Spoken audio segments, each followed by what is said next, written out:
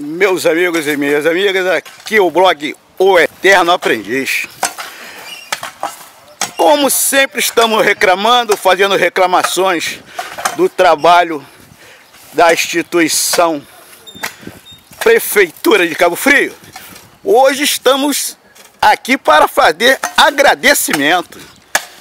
Estamos aqui com os funcionários da Concercaf, né, na rua Copenhague, né, trans, rua transversal Joaquim Nogueira.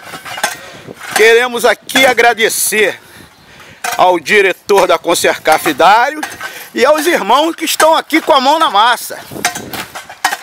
Essa galera chegou cedo, 6 horas da manhã. 6 horas da manhã a galera já estava na atividade aqui, hein? Fica aqui o agradecimento do blog O Eterno Aprendiz.